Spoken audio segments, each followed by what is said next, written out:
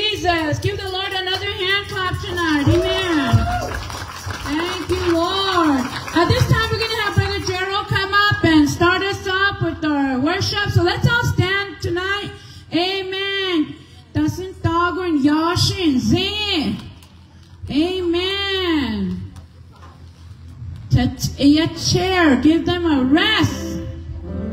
Stand up tonight and we worship the Lord and pray. Um, that Brother Gerald's going to come and share uh, some songs of praise. Thank you, Lord. Thank you, Jesus. Turn to your neighbor. Tell him it's good to see you. Show yourself friendly. Don't stand there looking just somehow.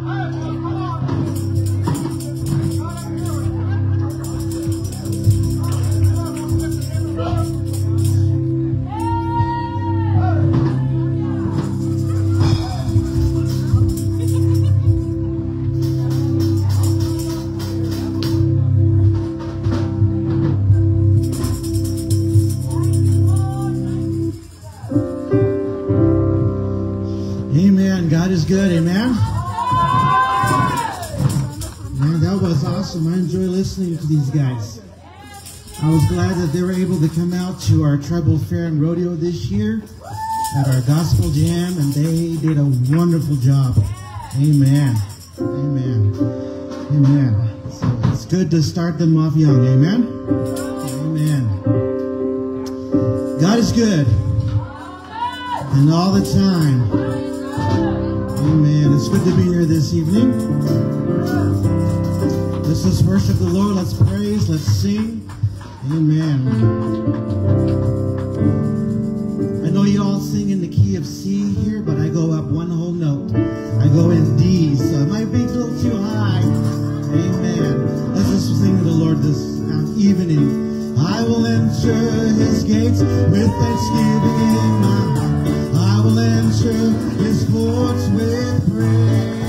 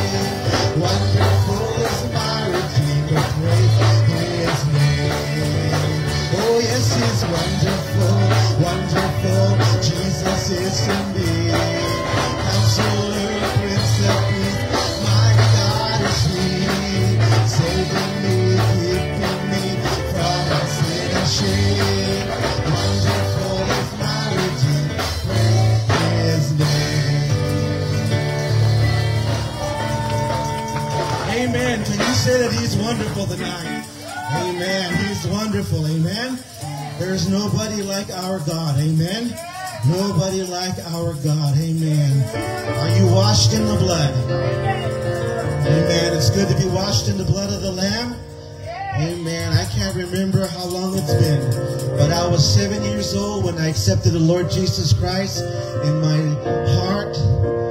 Six or seven. It was in 1987. Camp meeting in Cedar Creek. Two puppets led me to the Lord. Sally and Sam. Amen. And since then, I've been doing my best to live for Jesus. Amen. Are you washed in the blood? Have you been to Jesus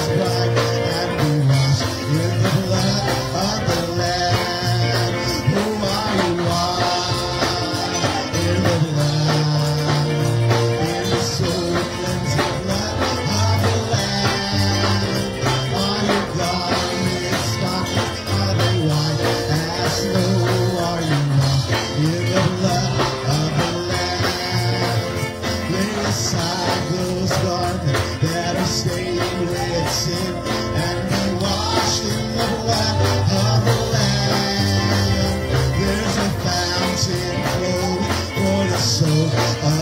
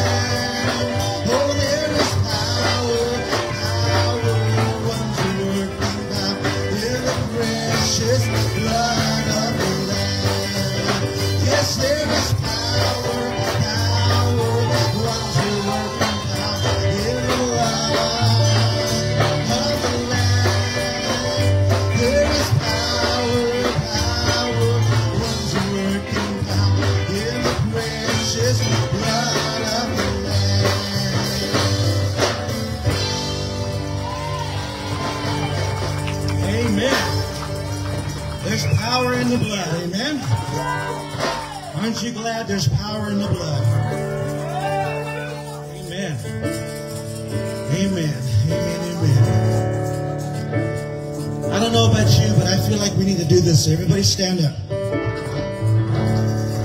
You can stand up. I want you to do this with me today. I want you to turn around once, okay? Just turn around once. Do one turn around. I don't care which direction. Just turn around once. That's for God the Father. Turn around another time. That's for God the Son. Turn around a third time. That's for God the Holy Spirit. I hear God saying he's about us around tonight, there's a turning coming to your life. Something is about to change. Amen. And all his promises are in him. Yes and amen. Amen. Amen. When God shall know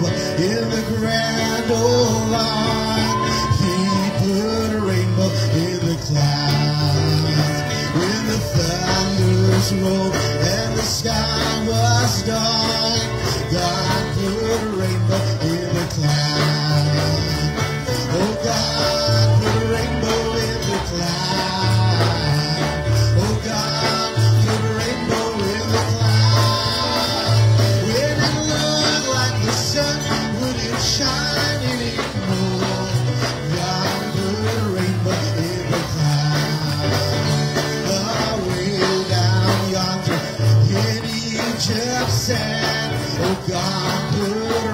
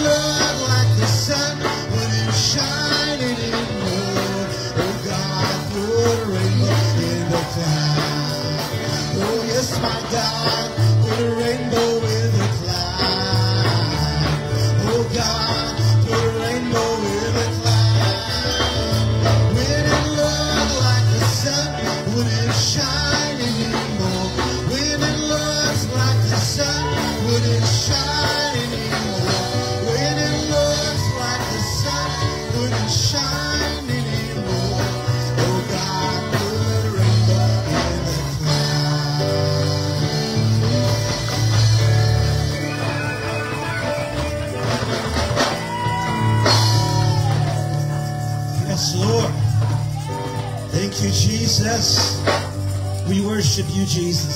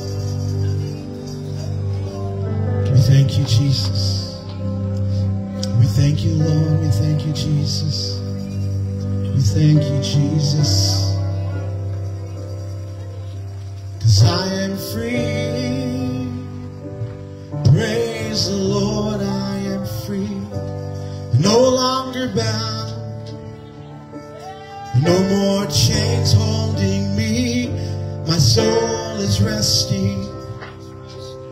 Oh, what a blessing, praise the Lord.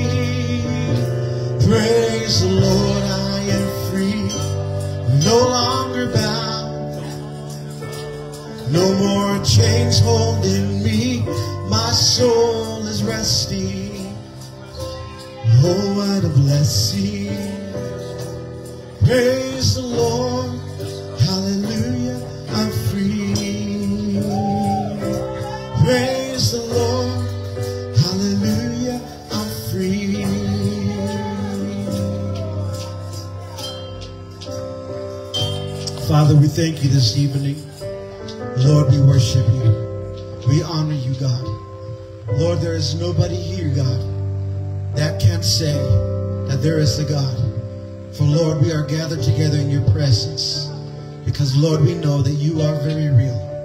You are indeed God. And we thank you for your presence. We thank you, Lord, for our freedoms.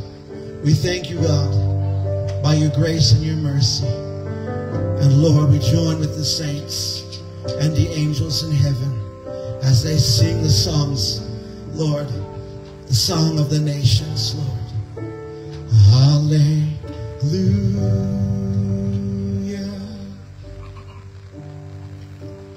Hallelujah. Come on, church, sing.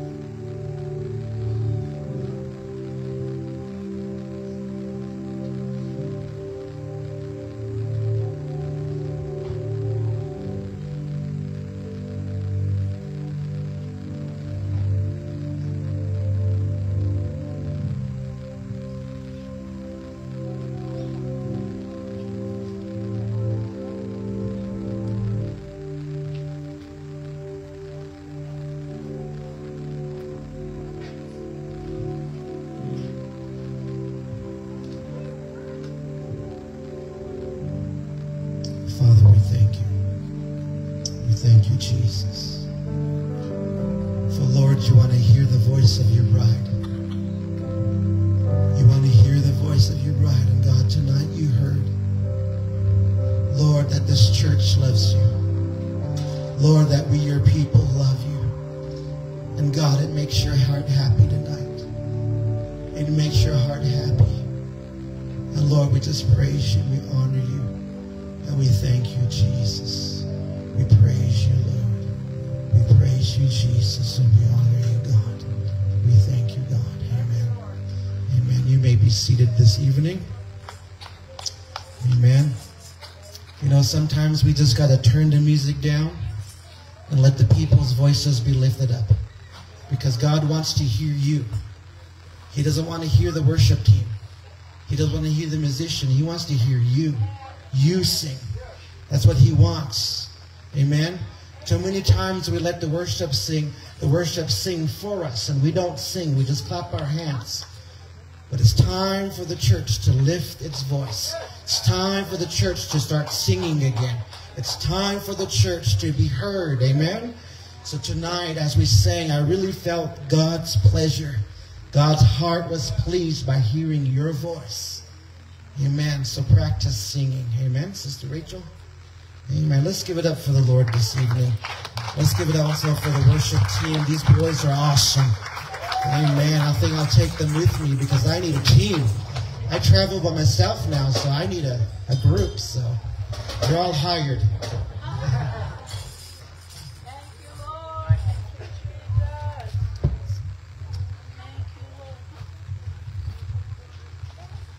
Thank you, Lord. Amen. How many of you guys enjoyed that? That's what God wants. Amen. Amen. Thank you, Lord. Hallelujah. Let's all stand tonight. We just thank uh, Brother Gerald for uh, ushering us into the presence of the Lord. Amen. God's here, like I said, here to do a work. I know somebody's here, you know, that needed that. Amen. Thank you, Lord. And tonight we're going to go ahead and go into our offering. You notice a thing Godnesia. Guys look full. Let's give unto the Lord tonight. Give um to God to part of our worship given unto Him. Amen. Thank you, Lord. Father, we thank you, Lord, tonight, God. We ask, Father, that, that you would bless those that, God, that are going to give unto you, Lord God, Father. There are many, Lord God, across this tent tonight, Lord God. Father, that needs just a touch from you, Lord God. And Father, we pray, Lord God, to continue to pour upon them, Lord. Let them receive, Lord God, Father, receive of you tonight, Lord. And we thank you, Lord Jesus, Father. Those that are going to give unto you, we ask God that you will bless them tonight, Lord Jesus. Those that don't have anything to give, Father, but by their faith, Lord God, they come and just even touching the basket, Lord God, that you're going to meet their need for them, that they be able to give unto you, Lord Jesus. And Father, we thank you, God, for each and every person that's here tonight, even on the outside of the tent, Lord God, even those that are sitting in their vehicles tonight, Father. We thank you for them, Lord Jesus. And we give you praise and we give you honor tonight. In Christ's name we pray. And everybody said, Amen. Thank you, Lord. Hallelujah. We're going to do a song called Deep Cries Out. Amen. This song involves movement. If you want to come up on that platform, just follow me. I'm not the best dancer. Excuse me, William. Give me enough room to dance. Thank you, Lord. I'm going to ask Latoya to come, Anna to come, Connie to come. Amen. CJ and Mary to come. Barlow girls are gone, but let's sing this song and do a little dance. Amen. Stand, let's go. Deep cries out. Gotta pull my skirt up. Been losing this weight. My skirts are all getting big on me. Thank you, Lord. Here we go. Come on, guys. Hurry, hurry, hurry. Thank you, Lord. Thank you, Lord. Cheryl, I don't know what key, but we'll just do it. Thank you, Lord. I got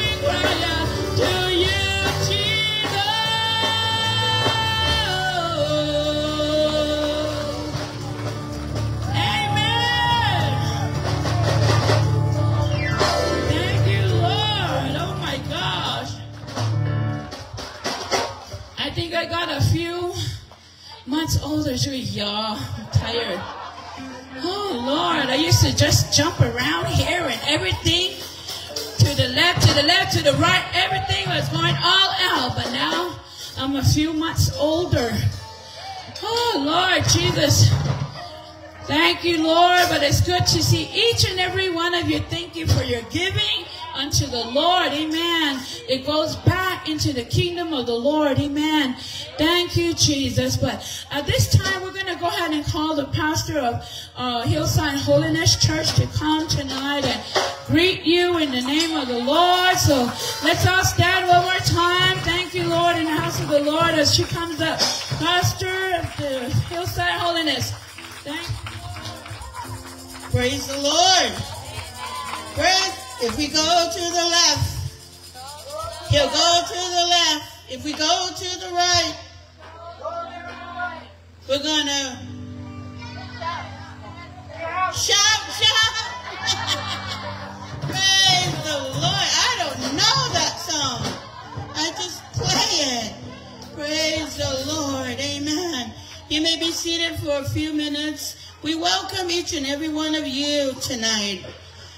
the way from the, the north side to the south side. We welcome you.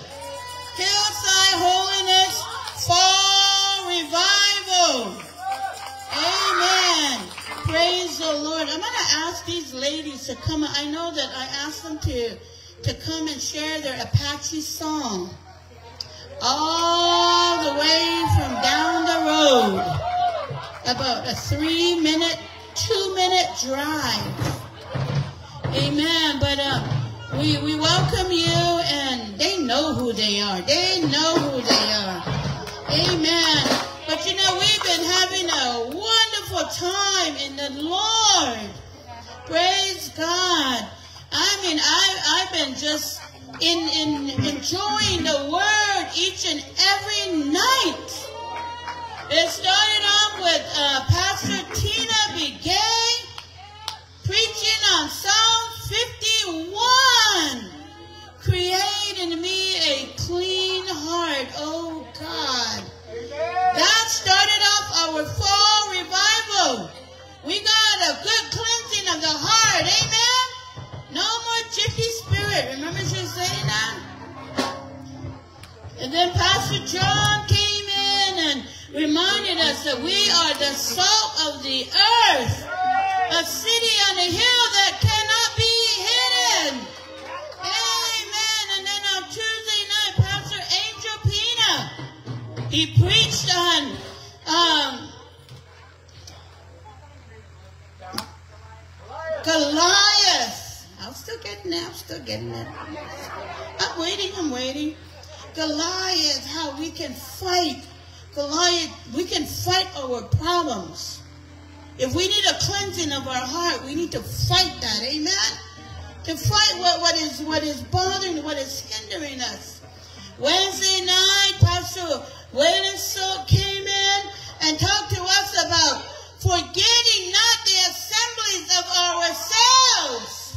Amen. He didn't say a group here, a group. He said we need to assemble together. He talked about how we assemble something like this. You put it together and make it one. And when we come to the house of the Lord, we are a body of Christ that comes together as one. Amen. And then uh, Thursday night. Are we on Thursday night? Thursday night. Who was here Thursday night? Pastor Marty.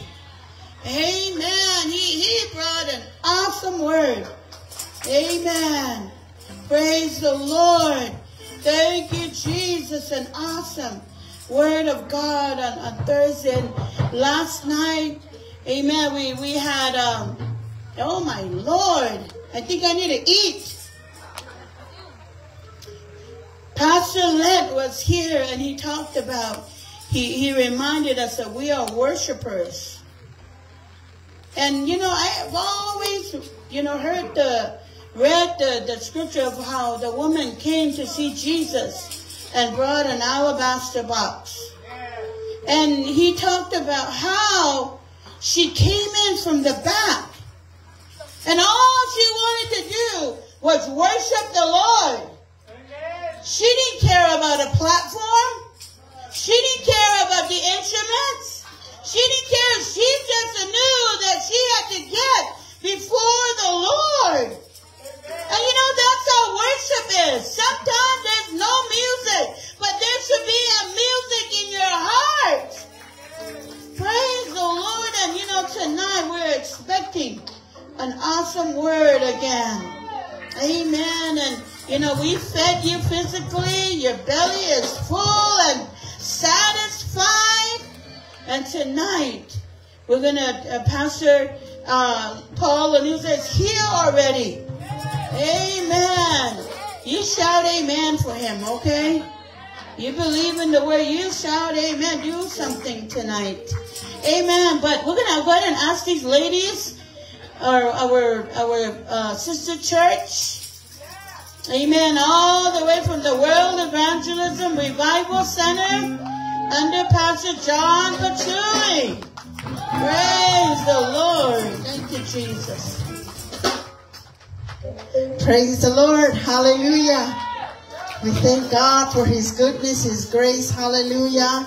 Before we go on, I'm just going to say I appreciate Pastor uh, Trina, uh, Pastor Appreciation. Uh, we just came from a, a little um, get together at uh, Church of Calvary. But praise the Lord, I thank God for all the ministers. You know, God has been so good to give us leaders and that we're able to, you know, walk forth in, in all the things that God has for us. Hallelujah. You know, I thank the Lord that, you know, we love him because he first loved us. You know, last Sunday, last Sunday we were teaching, I was teaching about that, that because Jesus loved us, we love everybody. We love people that don't even know Christ. We love the ones that are walking on the sidewalks. We love each and every one of them. I love all of you here today, tonight. Hallelujah. And I was talking to the church and I said we ought to love one another. You know, uh, in this ministry, you know, we need to stand beside our pastor. And I said, when we come to prayer meeting, we all need to come together and pray. And Tuesday night was our prayer meeting, and praise the Lord. You know what? We had a, a, a, a church full of believers. We're coming together to pray. I, I counted like over 30 people there. And Pastor turned around and said, we ought to have church tonight. Hallelujah.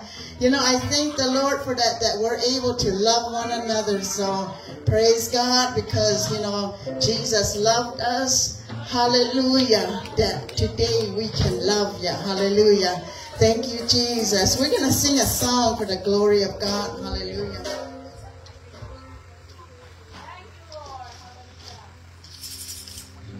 I would not be denied. Hallelujah. Daitzabe shagonya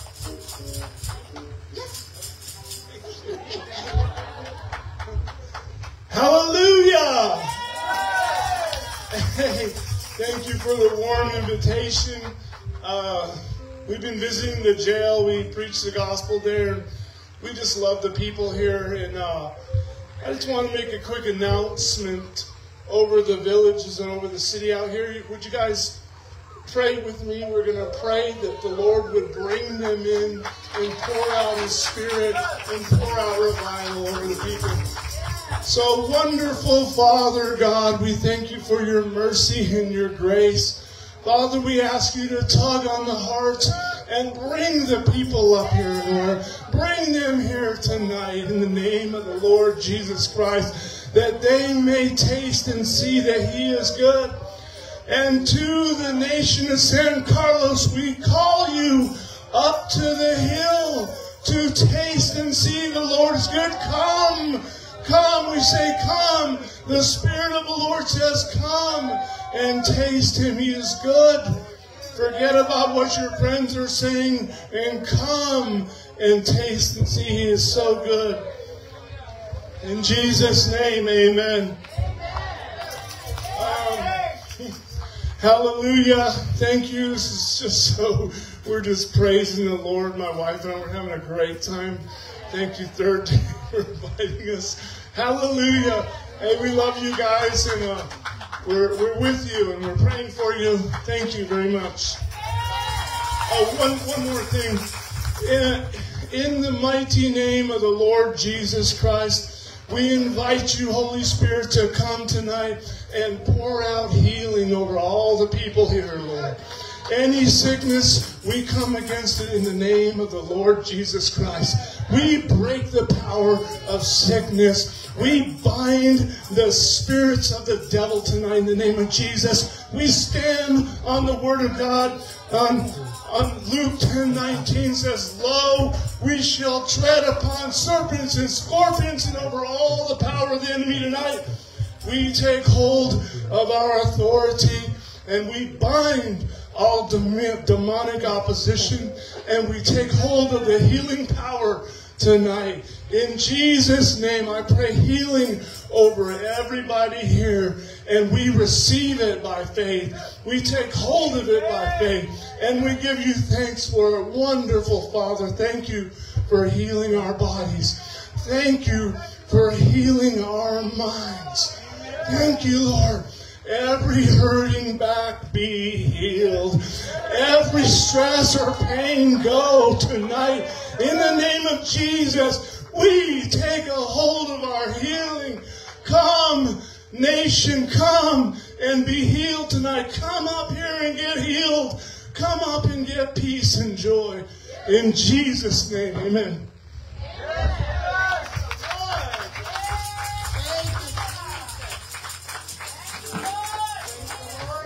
The Lord. Praise the Lord. Praise the Lord. Thank you, Jesus. You know, we're, we're thankful that, you know, we have brothers and sisters that are out there. Amen. Doing the same work that we're doing. Amen. Praise Lord. Jesus said that there are out there that are doing a work. Praise the Lord. And you know, the, the body of Christ, it, there's many members all over the world, and we share. And, and one is that the salvation only in the name of Jesus. Praise the Lord. You know, uh, my nephew here, I was riding down with him earlier, and he was just telling me about, you know, he was just stirring up my heart tonight.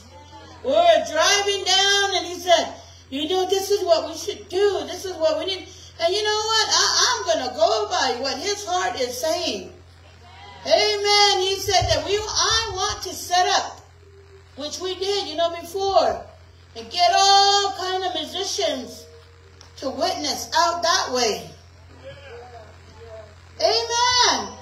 I've, I've heard people tell me that they hear us way out there. Amen. They hear us out there. And you know, uh, earlier today I, I prayed for a young woman.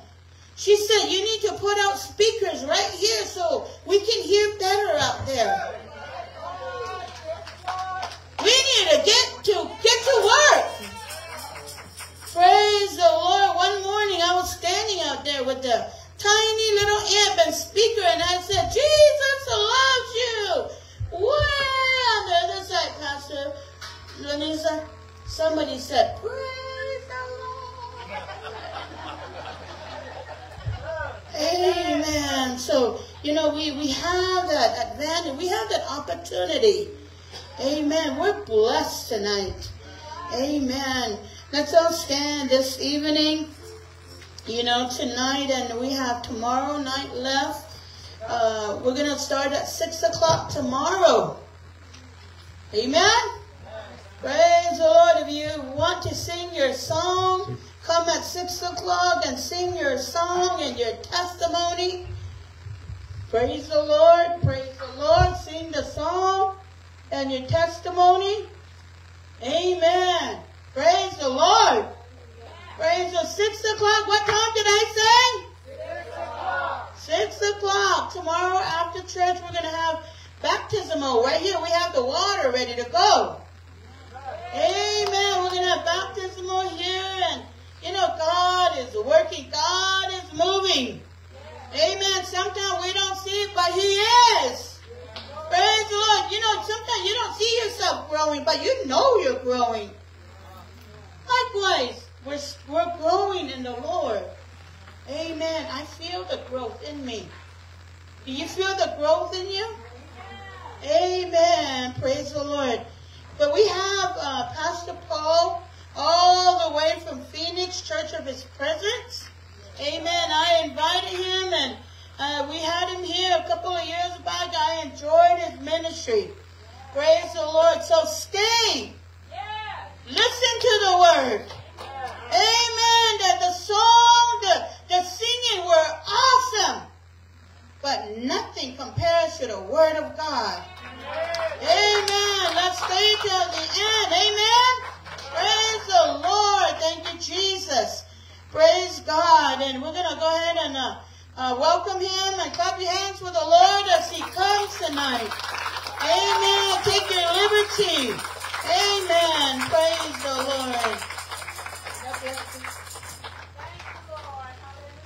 Don't sit down. Don't sit down. Don't sit down. You see, I don't know about you, but I came tonight to enjoy the presence of the Almighty God. Amen. And the way we enjoy the presence of the Almighty God is by enjoying Him. And before we start the word tonight, I want you to forget about everybody else around you. I want you to close your eyes.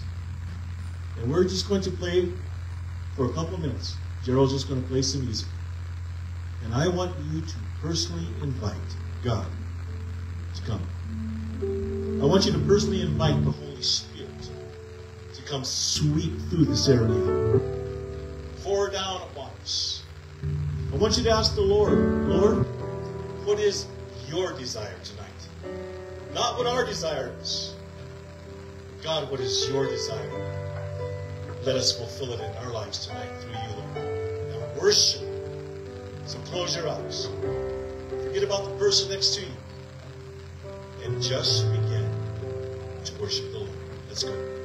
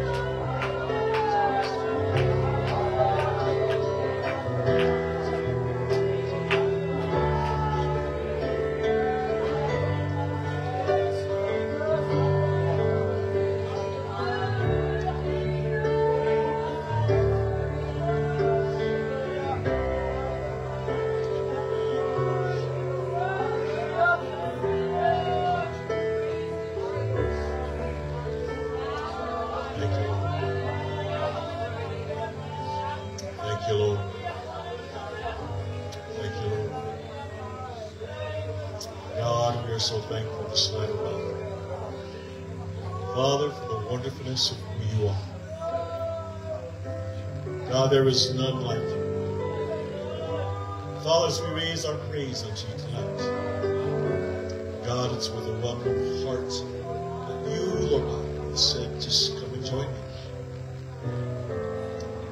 Heart, you've welcomed us. God, we have just taken that And you, for that which you have prepared. Bless your name, Lord. Bless your name.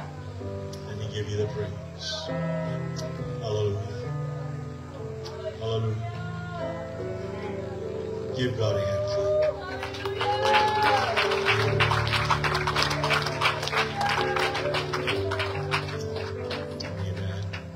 Turn around, shake a hand, hug a neck, be family. And when you're ready.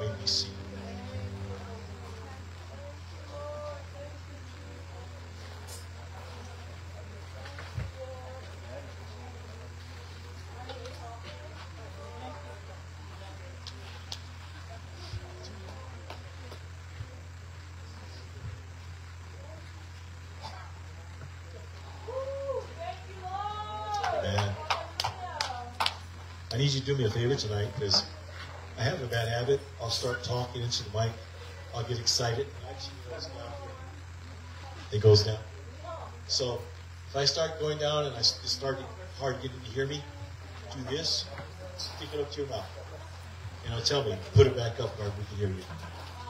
I'm excited tonight to come. And Sister Trina, thank you so much for giving me the opportunity to come. Some time back, when Sister Trina had asked me to come, I just, in my heart, Lord, what am I going to say? That's that's typically me. What am I'm going to say, how do you want me to say it? And as we drew closer, I could just feel like the Lord, you know, well, I have something. I have something. Got closer. I have something. I have something. And finally, it was like, oh, excuse me, Lord, we're getting really close. I have something. And then this this week, I sat down and I said, Father, I'm speaking Saturday. I said, God, I know that you have something in store. I said, What is it that you want me to say? And he spoke very clearly and distinctly to me, and he said, I've already given you the message. I've been preparing it in your heart for the last couple of months. And he began to bring me back. We have a, a Friday night Bible study. I'm to stand down here for a little bit. we have a Friday night Bible study that was a miracle in itself it started. And when that Bible study started, God said, I have a reason and I have a purpose for what I'm doing. He said, I am preparing the hearts of my people that are that you will be speaking to because I'm about to burst forth in their lives. And they need to know who they are, what they are, who I am, what I have done, because I am going to burst forth in them and I am going to release them into ministry to where they don't have to depend upon anybody but me, the Lord God. And God was so excited about what he was saying to me. He's like, wow, God, that's just good. Are you sure you got the right person to do this Bible study? Because it's like, Lord, you're talking great things. He said, tell them what I've taught you. Tell them what I've taught you. I said, okay. We started having the Bible study. We didn't have Bible study. We started having church. We would get into the Word of God. We talk about it. We talk about the subjects. And all of a sudden, the Holy Spirit would just come and settle down. And God sent us men and women that had that prophetic word, and the word started going forth. We watched some miracles actually just take place in front of everybody. We watched words come forth, and they started manifesting in people's lives. And God said, Paul, I'm sending you to, re, to, the, to revive because I'm about to cut loose on my people. And what did Gerald say tonight when he got up there? He said, God said, I'm about to cut you loose. I'm about to turn you loose. But before God turns us loose, we've got to get some stuff right in our life as Christians. We do. I want to talk about just four areas that, that I feel like the Lord has put up on my heart tonight to speak about. But there are four areas that stop us as Christians from moving forward in the confidence and the ability of God and in the strength and the power and the might of the Holy Spirit and going forward and doing something. We find ourselves on a constant basis in church, held back. And I just feel like the Lord just said, go over a couple of these. Now, I have a lot of scripture, but I'm not going to read all of it. Some of it I'm going to refer to it. Some of it I will read. Oh, thank you. Gerald knows me too well.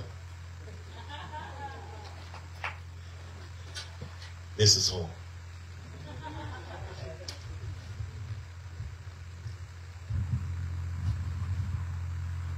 Areas that stop us from growing strong and maturing in Christ. You know, one of the things that, that really defeats Christians so much is that they really don't know the God they serve. You say, what would the kids say today? Shut up! no, I, I honestly want to say that that we as Christians, we as Christians, do you really know the God you serve? And I'm, I'm serious about the question because we've come to church so many times. We've come to church all of our lives. We have sat in church. We have listened to the preacher preach. We have gone to Sunday school. We have gone to Bible study. We have gone all through all of this. And we think in our minds, we think in our hearts, well, I've got a good relationship with Jesus and I'm going to heaven. Well, how about while you're here on earth? It's wonderful that we're going to heaven, but we were not we were not saved just to go to heaven. We were saved to become examples to the world of who Christ is. And the thing is, if we're going to be that example, do you know the God you serve? Because if you don't, something's wrong.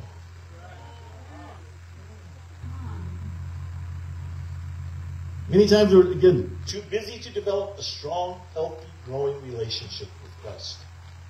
Strong relationships, strong relationships show. Let me get this out real quick.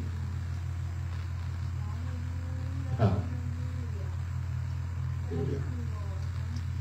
They show being able to hear and recognize God's voice. John chapter 8, verse 40. Chap says, and this was when Jesus was talking to some people. And they said, Our father is Abraham, they declared. No, Jesus replied, For if you really were the children of Abraham, you would follow his example. Instead, you are trying to kill me because I told you the truth, which I heard from God. Abraham never did such a thing. What did Jesus say? I'm telling you the truth. Why? Because I heard from God. How many of you believe that Adam and Eve were different than you were? Boy, it's quiet in here. How many of you believe that Adam and Eve were so different that they're so high up, are so mighty, are so holy that we can't touch where they were at? They were just like us. Know, your, how many times we moved great grandmother, great grandfather? Because whether we like it or not, we're all related. We are. We just, as things branched out, we we're still related. But in the Garden of Eden, in, in Genesis chapter 3, God went looking for Adam and Eve. They had sinned. The devil had, had, had you know, just lied to them and they had accepted it. Now I always like to bring this up, guys. Everybody blames the woman for sinning, you know. Hey, the guys walked into it with their eyes wide open. We never put up a fight. Satan deceived the woman. The guy bit into the apple without a fight. We can't blame the woman. We were just as much as fault. But when they sinned, God came into the garden. Adam, Eve, call their names. Where are you? They were hiding. Later on, when, when Adam finally comes out, God says, Where were you? Well, I was hiding. Well, why were you hiding? Because I was naked. Who told you you were naked? The devil, the snake, serpent. Did you eat of the fruit? Yes, I yes we did. Was there a conversation going on there? Could they hear the Lord? Could the Lord hear them? Did the conversation make sense? Did it have a subject? Were they, you know, were, did it seem like they were used to be, or they were used to talking to God? So, you're telling me that Adam and Eve could talk to God. They were comfortable talking to God. In fact, the reason they were hiding because they knew they had disappointed God and disobeyed Him. So there's a relationship there, right? But the thing is, do you think they knew the heart of God? Because did they know the heart of God? Yes. Don't eat the fruit. Right? Do you think they understood what God wanted of them? Was it so hard to understand? It should not be the same way with us. We should not have to fight trying to hear the voice of God. You can learn the voice of God. But what it takes is us as individuals developing a relationship with Him. You know, for a long time, I didn't know Gerald. When he first came to Bible school, I always laughed. You listen to him and my son talk. And Gerald thought my son was a stuck-up preacher's kid. And my son thought Gerald was a, holy, sanctified, uh, know-it-all Christian that was of no good spiritually. And yet, Gerald, be, Gerald will be doing my son's wedding in three weeks. Why?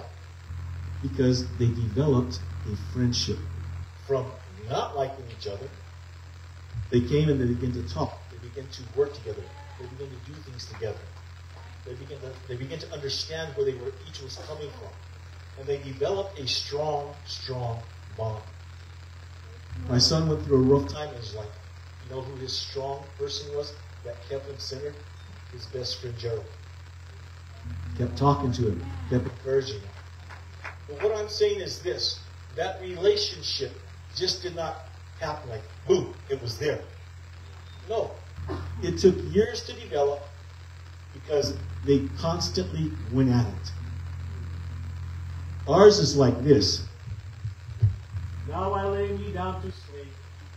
I pray the Lord my soul to keep. If I should die before I wake, I ask you, Lord, my soul to take. Just mommy and dad, oh my goodness. well, I, I, learned the one. I learned the one in college too. Now I lay me down to rest, a pile of books upon my chest. If I should die before I wake, that's one less test I have to take. Yes. but in many ways, that's how we treat God. We, for some reason, maybe it was because when we were growing up or whatever, for us older guys, somebody called me up, told me I was not as young as I once was. I have to agree with you. But I'm not old. Old is a state of mind. my, my body's just mature, out of shape. But anyway, going back, you know, when you think about it, when, when we look at our relationship with God, what is yours like? How are you treating God? You know, like I said, when we were, I was growing up, we always viewed God as God with the big stick. Man, he couldn't wait till we did something wrong because he's going to whap us across the head. Like He was going to punish us. And if we didn't do the right thing, he was going to throw us into hell. We got a wrong perception of God. God doesn't want anybody to go to hell. God doesn't stand there with this big stick. Either you obey me, I'm going to whack you over the head. That's not God. And yet, so many people as Christians hold that type of a thought that that's God. God is love. But God is not only love. God is a God is a God who takes his people, teaches them, trains them, works with them, helps them to mature in him so they can stand on their own two feet and go forward. He is a God who does not hide himself. As you begin to walk with the Lord and, and, and move with God, he reveals every aspect of his personality. Okay? Knowing God's heart and desire. 1 Corinthians chapter 2, 9 to 12 and 2.16. I'll read it for you if you don't mind. This is what the scriptures mean when they say, No eye has seen, nor ear heard, and no mind has imagined what God has prepared for those who love him. But it was to us that God revealed these things by his Spirit. For his Spirit searches out everything and shows us God's deep secrets. No one can know a person's thoughts except that person's own spirit. And no one can know God's thoughts except God's own spirit. And we have received God's spirit, not the world's spirit, so we can know the wonderful things God has freely given us. Wow. I like that.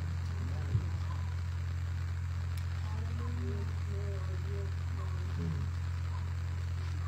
Verse 9 says, This is what the scriptures mean when they say, No eye has seen, no ear heard, nor, and no mind has imagined what God has prepared for those who love Him. But it was to us that God revealed these things by His Spirit. For His Spirit searches out everything and shows us God's deep secrets. No one can know a person's thoughts except that person's own spirit. I, I just read that, didn't I? Good. I guess I was, I was emphasizing the second time. But what does it say? It says that who knows God's Spirit? The Holy Spirit. Folks, we have inside of us? Who knows the thoughts of God? Who reveals to us the heart and mind of Christ? Guess what? It's there. Every single one of us You don't have to stand there just like, Jesus, what is your will for my life? You don't have to do that. Hey, Lord, I know you have a plan for Would you speak to me and just begin to reveal it so I can hear it and understand? It's in the Word of God. Lord, would you just lead me to the passages that talk to what you want me doing? God will tell you when He's journey. And it's fun. Hey, do you know that God takes uh, tells jokes? God, Gerald, does God tell jokes? Uh, he hasn't had them told yet. Hey, the first time I ever saw this happen, I was we, we were having our church was having a, a week of fasting and prayer uh, to see what God would do. And my pastor and myself, we took all the hours that nobody else, you know, took. And so a lot of times we found ourselves praying at two or three o'clock in the morning. And this one day we were at the altar. It's about two o'clock in the morning. We've been praying, you know, and, and, everything. And all of a sudden, my pastor just starts busting up laughing. It's like, this is we're praying. Why is he laughing? I said, Pastor, what are you laughing about? He goes, God just told me a joke. I thought to myself, God don't tell jokes.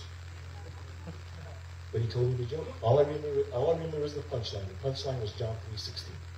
And it was funny. But God tells jokes. And God likes to make comments in ways that you understand. One day I was having a bad time. I've told some of these stories, but I need to tell you this one. I was having a bad, bad day. I came home from work. I was so mad because I worked at a Bible school. And Christians are supposed to be Christians, not get mad. I was mad. I was so mad I came home. I looked at my wife. I said, Don't disturb me. I'm going to my prayer closet. Went into my prayer closet, and I was so mad. I just said, I'm sorry. I don't have the words to talk to you about it, but I'll try. I grabbed the pillow and I shoved over my face, and I just started. It sounded something like this.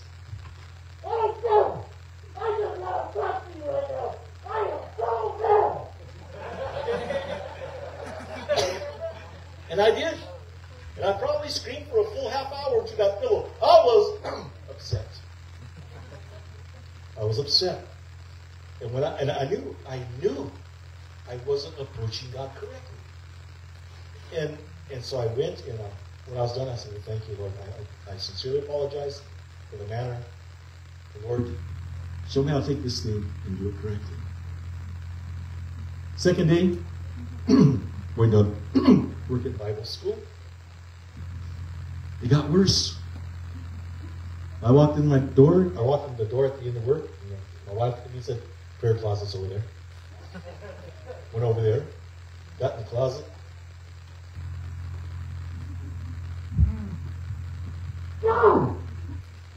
No! It's worse now than it yesterday.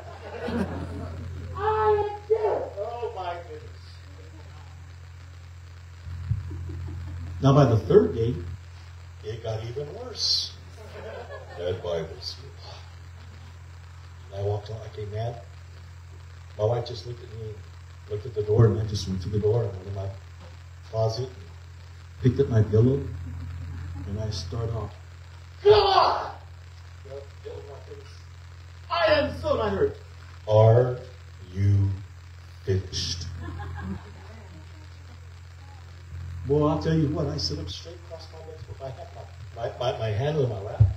And I said, Yes, sir. And I heard this, Paul. I heard you the first time. Yes, sir. Paul, do you see how I'm talking to you now? Yes, sir. Paul, you can expect that out of me every time. Yes, sir. Do you understand? Yes, sir. And God turned around and walked out of my closet. Now, my closet was only from here to maybe there. But boy, it sure looked like it was out the very end of the parking lot there. I learned something that day. I learned how to begin to talk to God. I heard his voice. I heard how he talked to me. See, God talks to each of us differently. He talks to us in a way we understand. He had to talk with me like that that night because I'm hard headed. I wasn't listening. I got too comfortable taking advantage of the grace of God. So God got my attention, and He did. But I learned that God heard me, and the moment I started talking, He was listening. It's the same way with you. If you think that God can't be funny, how about another time, same prayer closet? I'm sitting there, I've had a rough day. And I'm just telling God about my rough day. Here's the door to my closet. God walks in, takes one look at me. He's got this huge smile. By the way, I'm not seeing him with, these eyes. I'm seeing him with the, the eyes in my heart, okay? And he looks down at me. There's this big smile on his face. I'm having a pity party. And God looks down and he says, Hey. I looked up and says, You're your own worst enemy. Turned around walked, walked, out, of, walked out of my closet laughing. And I put my head up and said, You're not supposed to be like that. And over his shoulder, I heard, laughing at me. so, what am I supposed to be like? I, I, I, and he just walked on. God's fun. You got to learn. Look, if you look in the Word of God and what the different things He does, He laughs. He has fun with His creation. He wants relationship. He doesn't want to be the God in heaven who everybody sees as having a big stick. He's not the God that stands eh, eh, away from you, watching the circumstances happening in your life and never being a part of it. God is intimately involved in your life and still wants to be involved in your life every moment of your life. You see, we know. We know what's in God's heart because in Psalms 119, it says, I have hidden your word in my heart that I might not sin against you. Wow. Wow. You can have a personal relationship with God. I always laugh because Gerald's been part of a couple of these, but I like to tease God. Now, as a fisherman, guys, what do guys, what do they want to catch?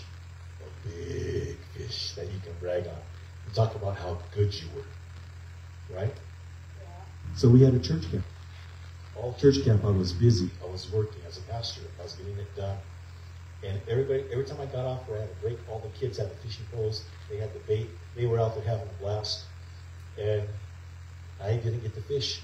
The very last night of, of camp, and the next morning we're having our last service and everything else. And I got mischievous with the Lord. I said, God, you know, my wife was asleep, my daughter was asleep in the tent. And I'm there on my on my, my sleeping bag and that mischievous comes up and like, oh God. I've been such a good pastor. Like I went through everything I had done. And I was making myself so sound so pious and so good. At the very end I couldn't stand myself anymore. It's like, ugh. And finally I just started laughing. I said, okay, God. I said, you know, and uh, I went to that part where like, Lord, you know, I was so good that I let the kids have the fishing poles, and I let the kids have the bait. And God, I was wanting this big fish, and I went through the whole thing. At the very end, I just started laughing. I apologized. I said, God, you know, I'm just teasing, but thank you for the wonderfulness of who you are. I appreciate who you are.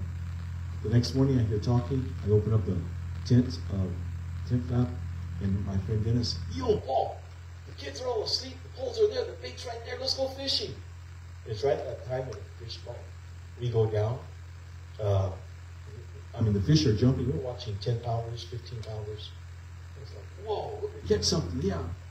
And we have our poles out, nothing's happening. So I said, hey, I'm to go down.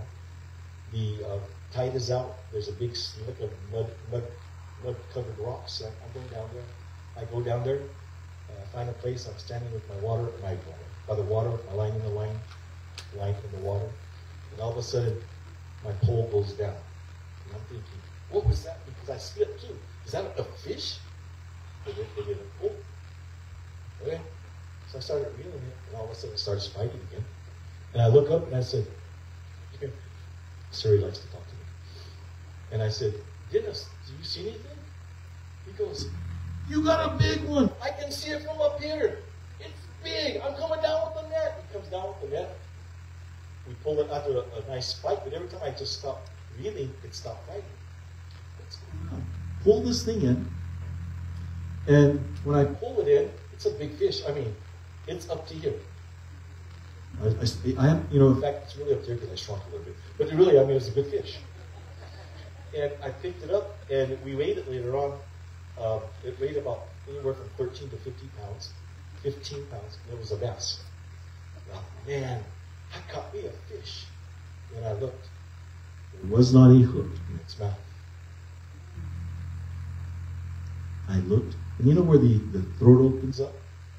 My hook was on on three sides. It was hooked on one side, hooked on another side, and hooked on another side. And when you when the line was coming out, it was coming straight out the middle of his mouth. That poor fish was in pain. That's why he was fighting me so much. But when I got it up, I looked at that and I said out loud, There's no way that I could have hooked that fish. And I heard God say, Ha! So um, what I'm saying is God loves you enough that he'll even play jokes on you. He'll tell you stuff. But that's the type of relationship you can have with God. And it, it doesn't stop. You you're not being disrespectful. Trust me. There have been times where I have been wrong in my attitudes. And one time I, I had done something and it was wrong, and I was just ignoring God. And I heard God say, You knew better. I straightened up real quick, like I asked forgiveness, and got my relationship right. All I'm saying is, folks, you need to develop a strong, healthy, growing relationship with Christ. Good? Secondly, you need to get rid of the wrong mindset. And what do you mean a wrong mindset?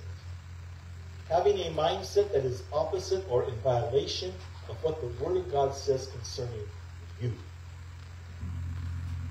So many of us think so bad about ourselves. We do. How many of you, you don't have to put your hand up or answer, but how many of you hold things against yourself that go back into your teen years? Things, mistakes that you made, things that happened that to this day you still hold it against yourself. I never should have done that. I was a Christian and knew better. Or you hurt people. I never should have done that. I hurt people. God's forgiven you, they've forgiven you, but you've not forgiven yourself.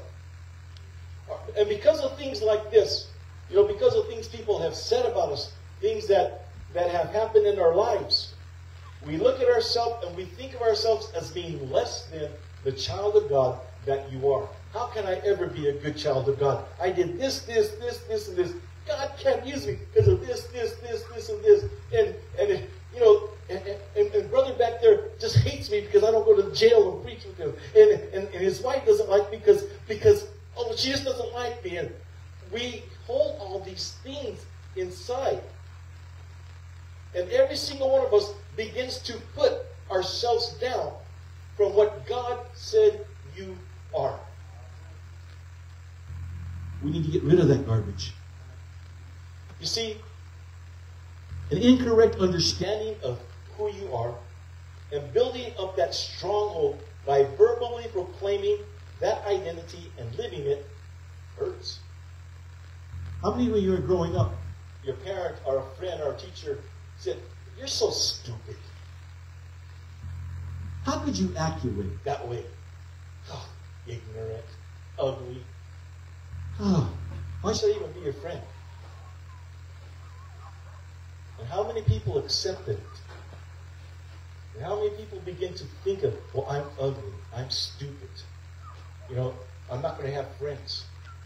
We create a mindset inside here that becomes a stronghold that that doesn't need to be there. That we can get rid of it. Get rid of it. You see, what does God say about me? Number one, I can overcome a, ne- a negative self-image. Philippians 4.13. I'm part of God's family. Ephesians 2.19. I have power over demonic forces. Ephesians 6, 10 to 12. God has given me his armor. and his mighty power. I'm strong in the Lord, and I can stand strong in the Lord. God says it about you. You look at any one of those scriptures, and it's going to tell you who you are. So quit allowing the enemy to use what everybody else has said and begin to say back to him, no, no, no, no, no, you got this wrong. Let me quote to you what the Bible says about me.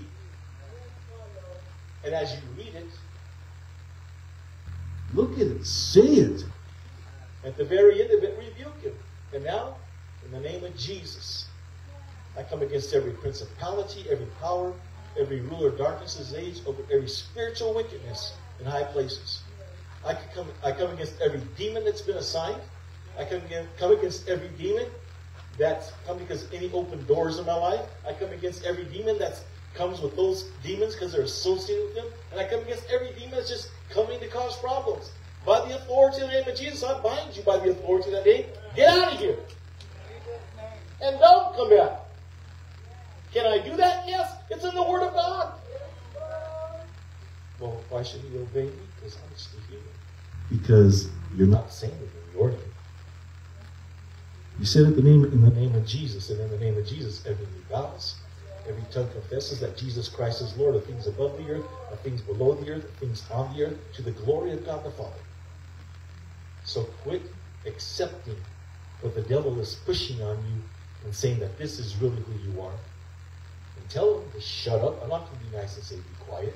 Tell him to shut up and give him the word of God and then you can cast him out. Why should you have to put up with it? And then here's another thing. Go look in the mirror. And anything you hold against yourself, first of all, look in the mirror.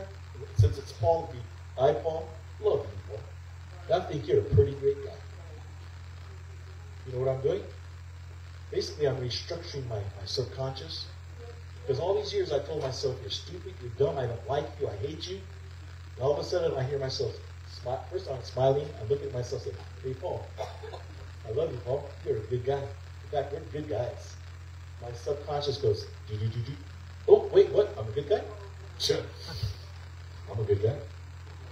And you begin to forgive yourself for the things that you did.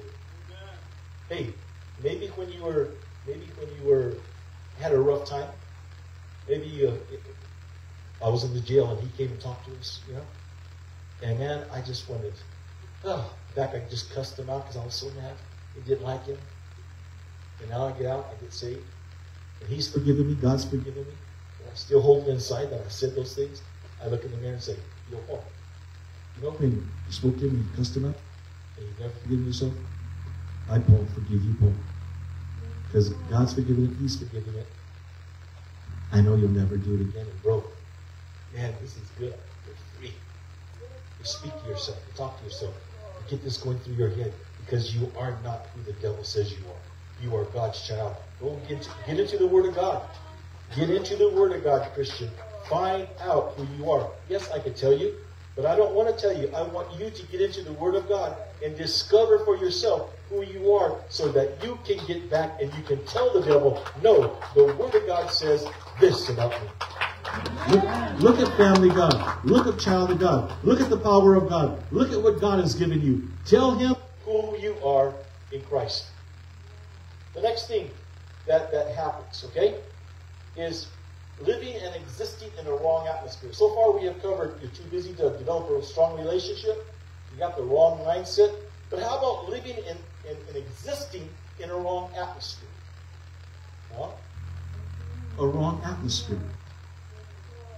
If, let's say I lived in my home, and every day I walked in, and I grumbled and I complained, and I called my wife names and told my children they were stupid, and kicked the dog a couple times and threw the cat out, and you know, and I did this every day for years. And then when my kids grew up, or in fact, then as my kids were growing up, my kids were doing the same thing, except they kicked the dog and threw the cat out the window, and you know, and then they were saying they were cussing, they were swearing, they were talking bad about mom and dad, and you know, the bad thing was is we were supposed to be Christians, but we were doing all this kind of stuff. What type of atmosphere have I created in my home? Is it a Christian one? No, it's godly one. And the thing is, many times we do that for years, never realizing that we are doing this, never realizing that we have not gotten rid of it. You know, I, I, I was listening to a, a, minister preach, and they had a great revival. In fact, I'll tell you, it was John Kilpatrick, and they were talking. He was talking about how they had these the wonderful Brownsville revival, and said after service one day, his family called him over. They had been on the verge of divorce. You know, they had been saying wrong things about each other, and, and the family was really on the brink of it. And the, the Brownsville revival happened, and boom, God healed that family. But they said, Pastor, we're confused. I said, What's wrong? Said, We leave here, we have the victory. We have the victory. We get back into our house, and within five minutes of getting into our house, we are at each other's throats. I'm talking bad about my wife. She's talking bad about me. The kids are upset with mom and dad, and, and, and they're speaking bad about us. And we are just in disarray. And yet we just came from a wonderful, wonderful service. What's happening? Atmosphere. They had created an atmosphere. And that atmosphere had not been taken care of. You know how to get rid of atmospheres? It's fun. Number one, say repent. Now, everybody say, to get rid of that atmosphere, I repent about that atmosphere. Let me say this, okay? Repent. Stand in your house. Lord, as the head of the home, I repent over everything bad that was said, things that were not of you, did not follow the word of God, and have created an ungodly atmosphere in our home.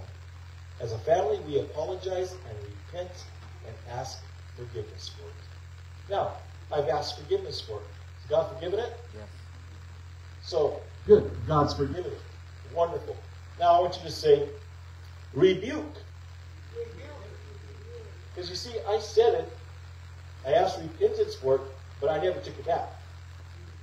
And now what I'm going to do is I'm going to go in my house and, again, Lord, we as a family, I'm sorry, Okay, Lord, as the head of the home, I rebuke, cast down, and command to be broken and die things that were said or done here, in the name of, if you know what you're talking about, that have become strongholds in the atmosphere of this home. In Jesus' name, I command that you die, the spine of the attack be broken, and never again rise in this home. You see, taking the authority over everything that I placed, not really knowing about, I, I placed in the atmosphere over my home. Or even my kids or my wife or anybody else who came in my home speaking about it. And I commanded it to be broken, cast down, every obstacle removed, you know, the spine of it be broken, you know. I killed this thing and I told it, don't ever rise again. Then I want you to say, restate. In other words, you're going to restate what you have said the right way. And this was the fun part. It says, Lord, we as a family invite you into this home and atmosphere. Now write out a blessing for your home. Father, I pray that, Lord, that rest would be in my home. Or in fact, Lord, I bless my home with rest from my high. I bless it with kind words that when we eat at the table, that Father, we uh, not only a loving spirit, but a friendly spirit, where we talk about you. And God, we are enjoying our souls so much, Lord, that you just come down and join us. And Lord, that we just enjoy being around each other. When we go to sleep at night, Lord, I, I just bless this home with peaceful sleep and, and no disturbance. Do you realize that you can do this? And the thing is, have fun with it. What do you want? What do you want your house to look like? When people walk inside, what do you want your house to show. Get before the Lord. Restate the purpose of what your home does. Tell God. And guess what? It works for churches. For years. For years, we walk into buildings that, you know, there's this split and that split and this split and this split and this family left and that family left. In fact, the whole church broke up and this new church came in and this time, you know, we have been many times in church buildings or in church groups there have been gigantic things that have happened.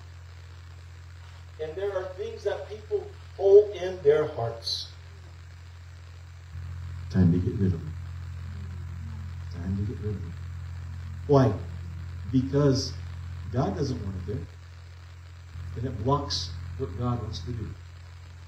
You see, when we've got this big, huge overhead sticking over my head, how can God get through it if I have not removed it?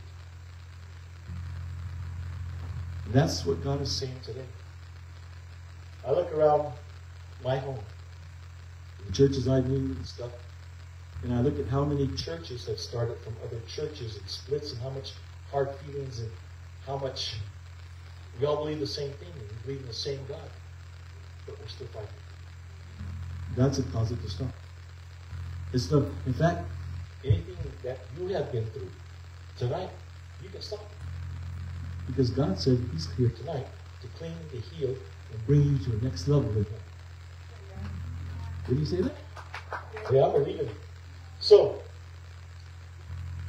after you have done all of this, now go through each room in your home, anoint it with oil, invite the Holy Spirit to flow through each room, and the blessings of God to be in each one. And after you've done the behavior, oh, okay, and after you are done, the behavior in the home must change. You cannot do the same things you have been doing. You've broken it, you've cast them off.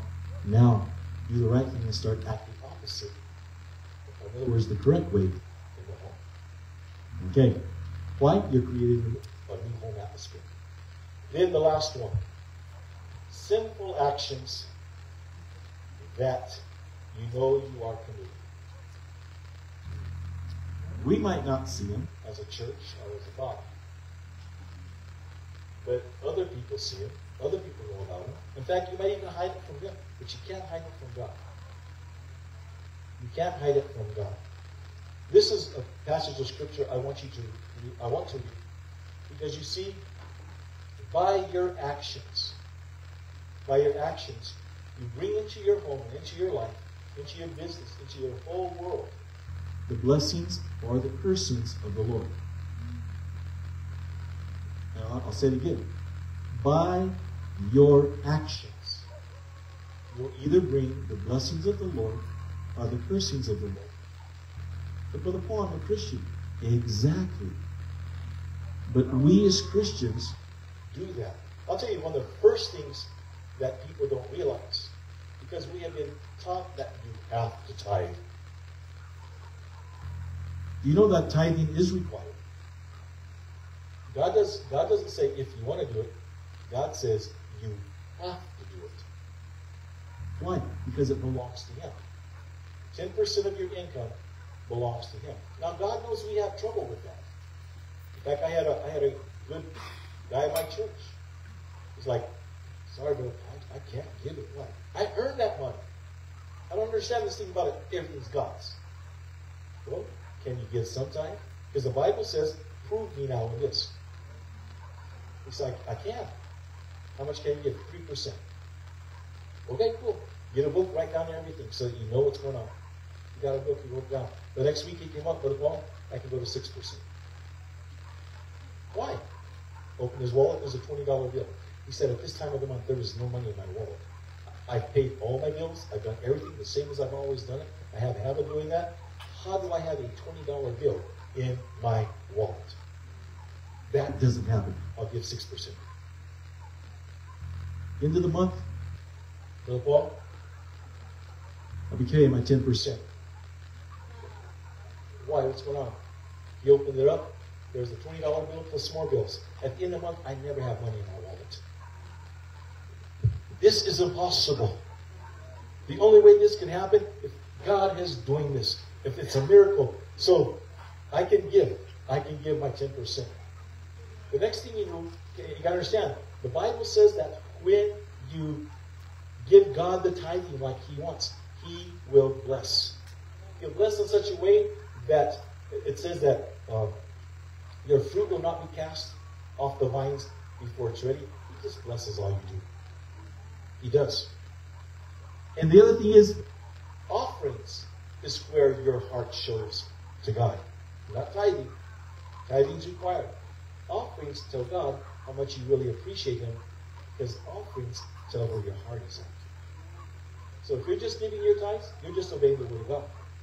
But if you're giving offerings, you're telling God, I'm above my tithes, which I require. I love you, Lord. Here, take this. And the Lord says, well, you guys say, well, how much? How much you and God decide you want to give. That's up to you. The guy I was telling you about, they were so blessed. I finally asked him years later, and he wouldn't mind if I use his name, so I'll say Trent. I said, Trent, I'm just curious. How much in tithes did you actually give? Because you guys were, everybody saw the blessing. He put his head down and he just smiled. He said, God, it was so good. He said, my wife and myself started giving 15% tithe. And Brother Paul, we gave 30, uh, 15% offering. They were giving 30% of their income to the Lord. And God blessed them like you wouldn't believe. He forgot the lesson. Because he was being blessed so much. He forgot the lesson, stopped tithing, the blessings disappeared. He wanted to talk to me one day and looking at man, Brother Paul. I said, What's changed? And he just stopped. Don't say another word. They went back to tithing and giving offerings. All of a sudden, the blessings were all right back. That's one of the best ways to do it. But in Deuteronomy, how long have I been preaching? I'm I'm still good? Okay. I don't want to, I don't want to keep you until tomorrow morning. If you go with me to Deuteronomy chapter 28.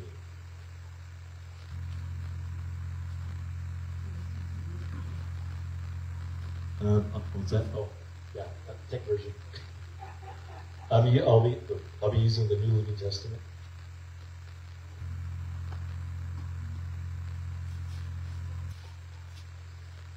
And I'm going to read 1 to 14 to start off with, okay? If you fully obey the Lord your God and carefully keep all his commands that I am giving you, okay, give me the, give me, what did he, what did he just say? If I do what? If I fully obey the Lord, my God, and carefully keep all his commands. Okay? In other words, if I love the Lord and I and I and I follow the word of God, right?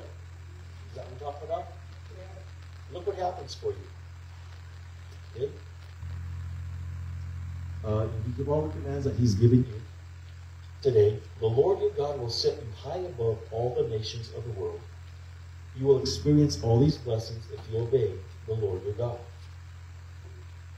Again, he's talking to the nation of Israel. You've got to understand. He's talking to the people. Your towns and your fields will be blessed. Your children and your crops will be blessed. The offspring of your herds and flocks will be blessed. Your fruit baskets and breadboards will be blessed. Wherever you go and whatever you do, you will be blessed. The Lord will conquer your enemies when they attack you. They will attack you from one direction, but they will scatter from you in seven. The Lord will guarantee a blessing on everything you do and will fill your storehouses with grain. The Lord your God will bless you in the land he has given you. If you obey the commands of the Lord your God and walk in his ways, the Lord will establish you as his, as his holy people, as he swore he would do. Then all the nations of the world will see that you are a people claimed by the Lord, and they will stand in awe of you. Now you'll say, well, Brother Paul, that was given to the nation of Israel, you know, to Abraham and all of them. On the day that you accepted Christ as your personal Savior, God adopted you into his family. And as you were adopted into his family, you were adopted into the promises that he gave the nation of Israel. Therefore, if you love the Lord your God and you follow the word of God, folks, if you make God number one, if you make living his word number one, and I'm not talking to be talking about being so holy that you're of no earthly good. I'm talking about being who you are, loving the Lord, and living like you should as a Christian. Living by the standards that God has set, not what we have set, but what God has set in His Word. And as you begin to do that, God says, I will bless you. Say it with me. God will bless me. If I love Him, if I love Him, and if I live according to His Word. It's that easy. Well, Brother Paul, I'm having a rough time right now, financially and everything else. Take a look at what you're doing. I need a better job. Hey, are you a Christian? Are you obeying the Word of God? Are you following it? God need a better job. How many times have we prayed and watched jobs happen? Many times. Many times. Hey, at one time, uh, Phoenix Full Gospel Fellowship was the church we had before. We were known as the baby church. Why? Because ladies who could not have babies would walk in and ask for it. We would pray for them and they would have children. I, I think we stopped counting at 12, isn't it? Something like that. But why? You see, God's blessings. When you learn what God's blessings are, and, and all that's required of you, you'll say, why am I not? Anytime you're not being blessed, go ask. Take a look at the Word of God. Take a look at your life. Take a look at what's happening. Take a look at what's stopping the blessings of God from coming. Because God wants to bless you. Okay? All right. Let's look at the curses, though. I want you to go to Leviticus chapter 26.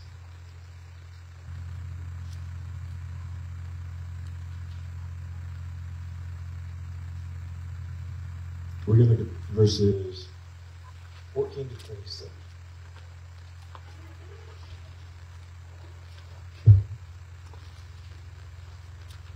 Take a look at this and ask yourself, how many times have I done this to myself? Because I actually looked at some of this after what he said is like, oh, I brought that on myself. And it says, however, if you do not listen to me or obey all these commands, and if you break my covenant by rejecting my decrees, treating my regulations with contempt, and refusing to obey my commands, I will punish you.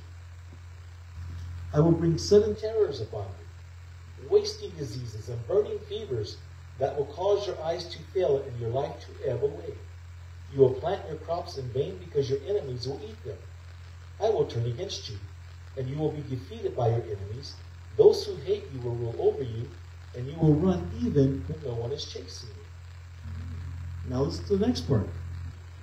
And, in, and if, in spite of all this, you still disobey me, I will punish you seven times over for your sins. I will break your proud spirit by making the skies as unyielding as iron and the earth as hard as bronze. All your work will be for nothing, for your land will yield no crops and your trees will bear no fruit. Okay? Now look at this again. If even then you remain hostile toward me and refuse to obey me, I will inflict disaster on you seven times over for your sins. So we had the original, then we had seven times worse. Now it's seven times worse than that. I will send wild animals that will rob you of your children and destroy your livestock. Your numbers will dwindle and your roads will be deserted. There we go now. And if you fail to learn the lesson and continue your hostility toward me, then I myself will be hostile toward you. I will personally strike you with calamity seven times over for your sins. Okay? Let's continue. I will send armies against you to carry out the to carry out the curse of the covenant you have broken. When you run to your towns for safety, I will send a plague or destroy you there, and you will be handed over to your enemies. I will destroy your food supply that ten women will need only one oven to bake, break, bake bread for the families. They will ration your food by weight, and though you have food to eat, you will not be satisfied. In spite of all of this, you, oh, and in spite of all of this, you still refuse to listen and remain hostile toward me, then I will give full vent to my hostility. I myself will punish you seven times over for your sins. Sorry, Brother Paul, that's oh, for the Israelite nation. Yeah, right. We saw we, we read the Word of God, we see it happen. But you've got to understand, folks, if we are not listening to God, if we are disobeying Him, if we are consciously disobeying Him, what does He say? Number one, I'm going to get your attention. I will punish you. Okay? He'll punish us. Whatever happens, He's going to First of all, it's seven times. Know, he's going to bring stuff upon you seven times, or you're getting hit by stuff that's bad. Seven times over. And then, if you don't learn, uh, I'll get you another seven times. And if you don't learn from that, you know, I, I'm, I'm going to I'm going to really start getting angry at you. I'm going to face my anger. But the last part of that, he says, when you really, like I said, um, you know, God, I'm not interested in, I'm not going to obey you. I will give full vent to my anger. And I will bring calamity on you seven times, even worse than anything before. So, Christians, God doesn't force us to do anything. Understand that. This is free will. But if you're finding things are going wrong in your life, ask yourself why. Go back to the Word of God. Look at look and find out if your actions, if your lifestyle, if what you are doing is inviting His anger into your life. You see, I brought these up tonight because you got to understand God wants to bless. I want you to say that with me. God wants to bless me. God wants to prosper me. God wants to do something great in my life. All I have to do is begin to believe it, live it, and do it. And I understand. It's, you know, a lot of people say it's not that easy. I understand. But that's where we, we come into growing and maturing. That's where the Holy Spirit, who knows the mind and the heart of God, knows how to do things correctly and has all wisdom, comes and imparts that in your life so that you can you have the ability through him to do all the things that need to be done to become the person you desire to be that God wants you to be. We as Christians should not have to sit in our churches waiting for God to show up. We should walk in your, our churches, and God's already there because He's inside of us. We've been praising Him so much throughout the week. We walked in, He got there ahead of us because He was excited to be in the service with us. You see, you can change the atmosphere of your church. You can change the atmosphere of your home. You can change the atmosphere, atmosphere of your life.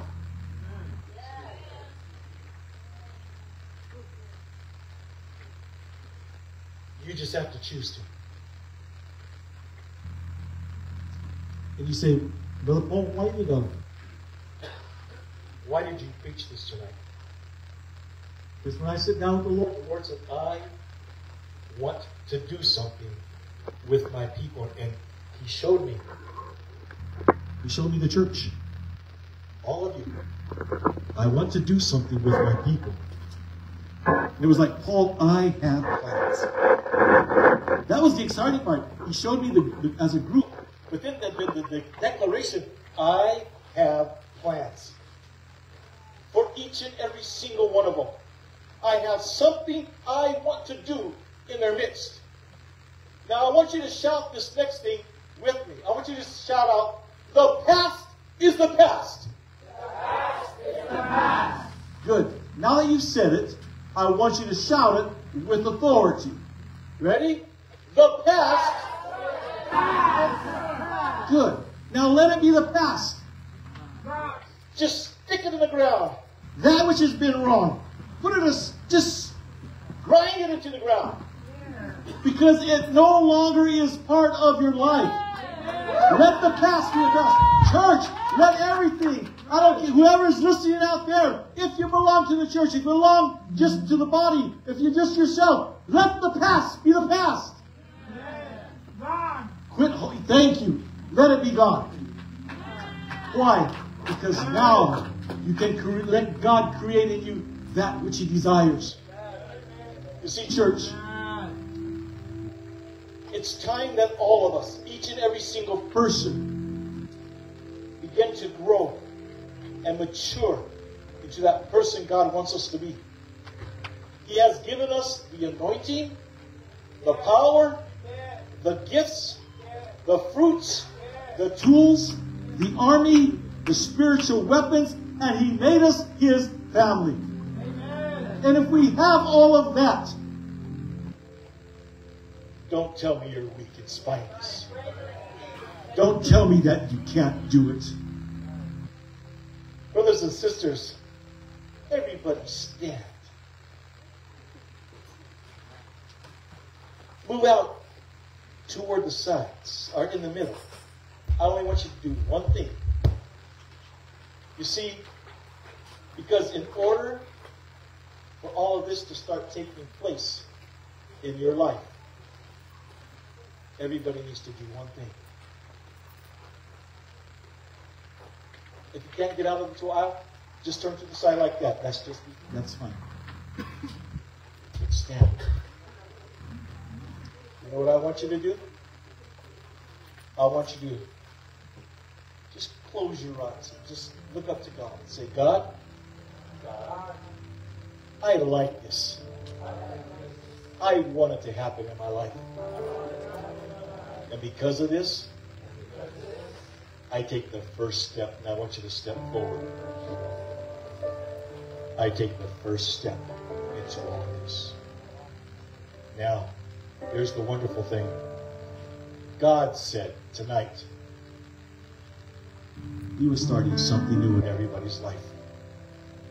So whether you realize it or not, you have something from God specifically made for you, waiting for you now.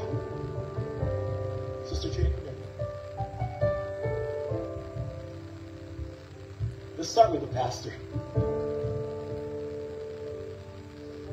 I want you to stretch your hands out toward your pastor. Bless her. I want you to start speaking blessing. Start speaking anointing. Start speaking a revival in her heart, a newness, a new wonderfulness. This is your pastor. You have a right to bless her, and you have a right to call for things in her life that she has been desiring. Come on, church. Go to war for your pastor.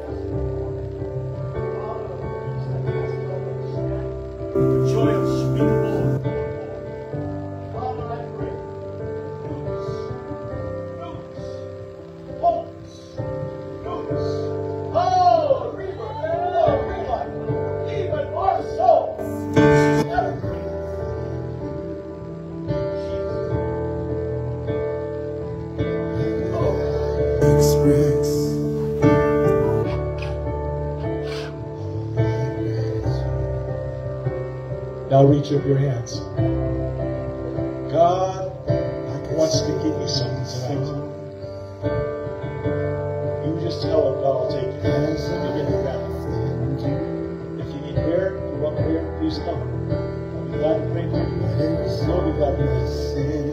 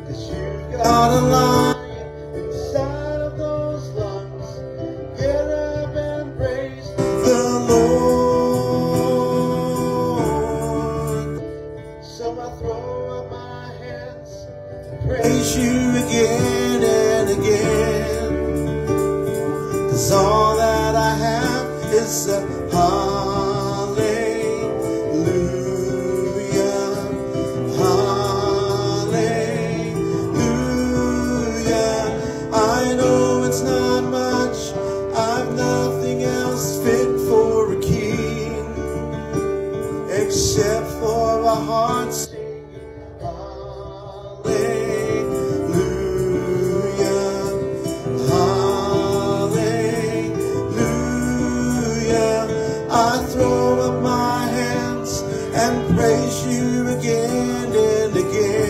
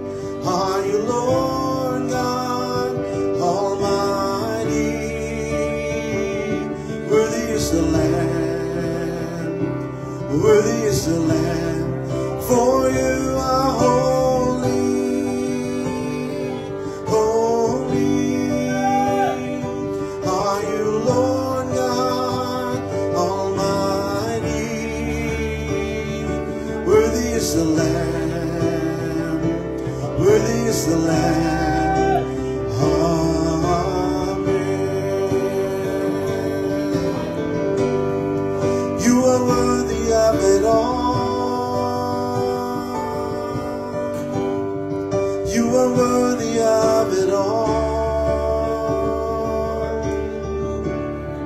For from you are all things, and to you are all things.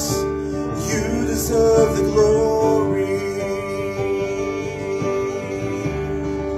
You are worthy of it all. You are worthy of it all.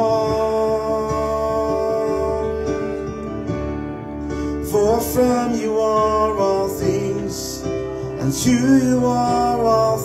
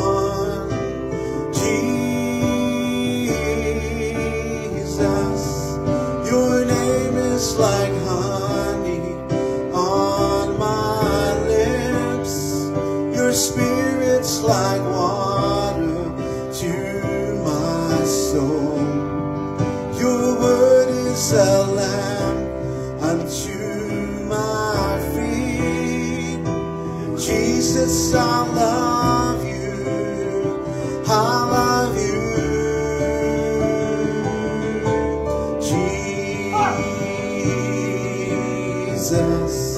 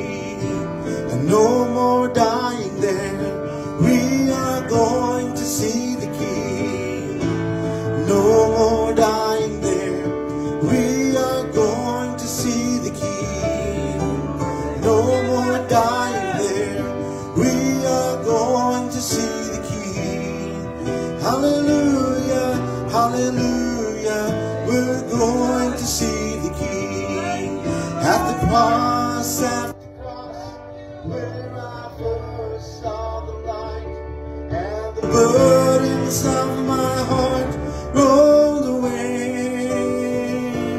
It was there by faith I received.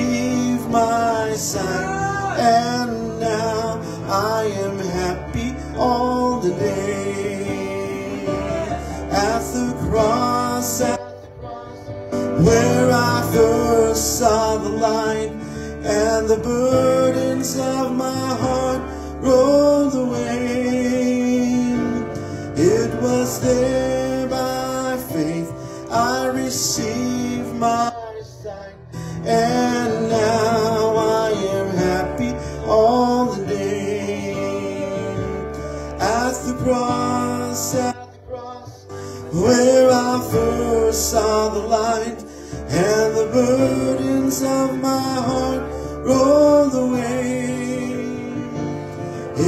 stay.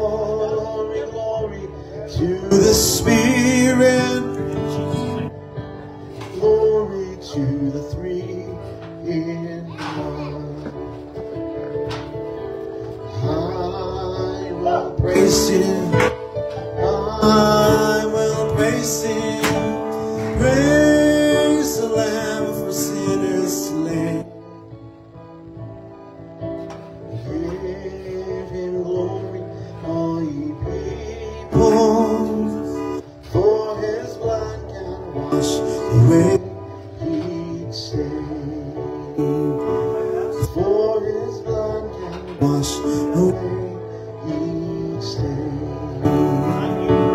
For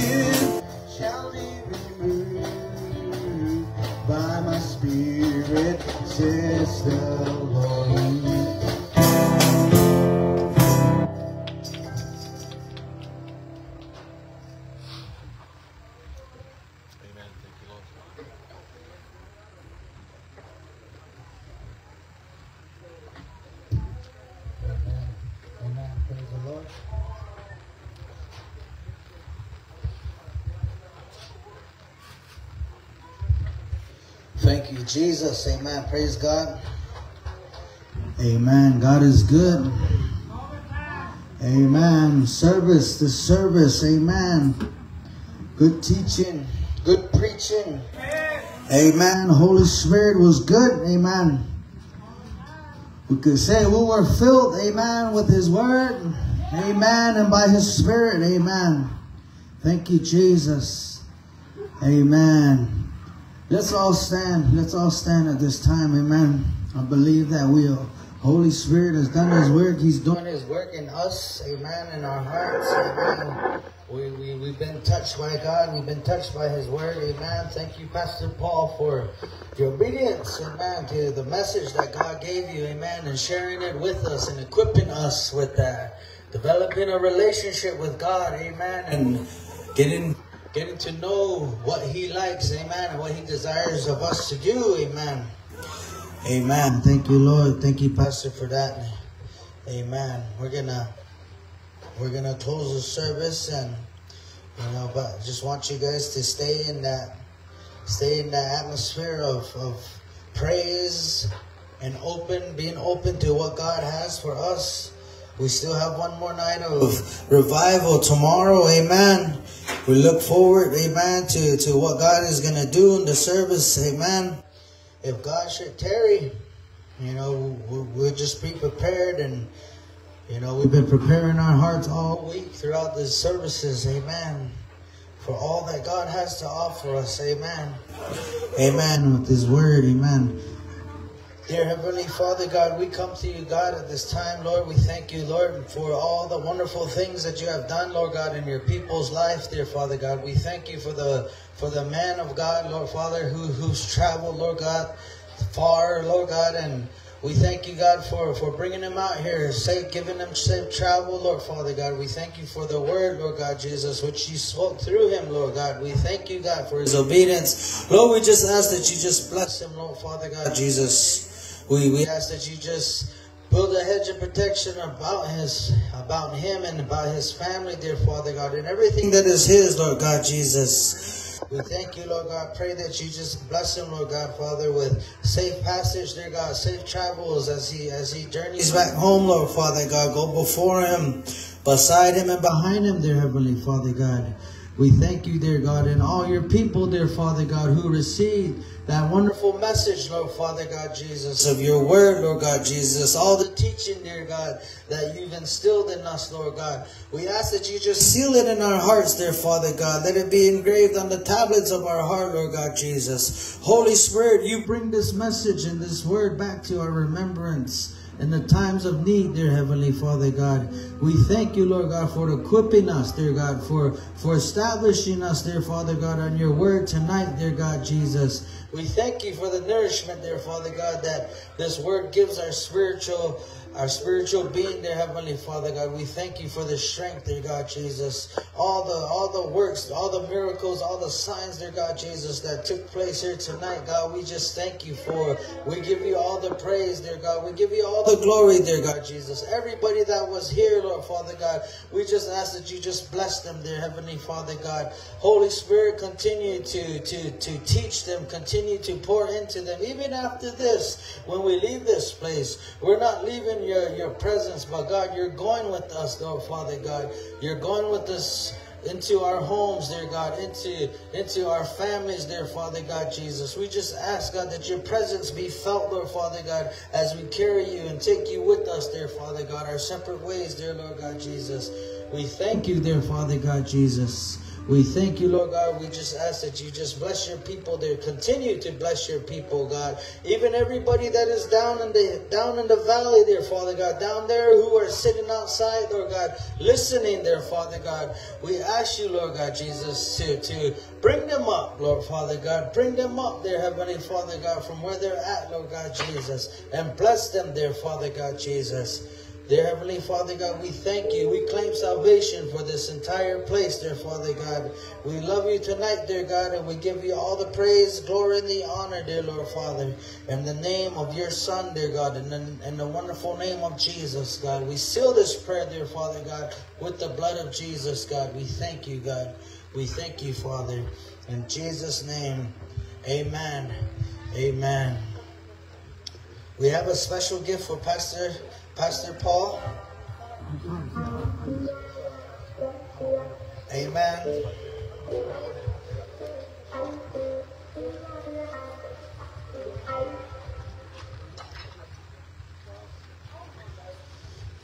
Amen. It's your size. Amen.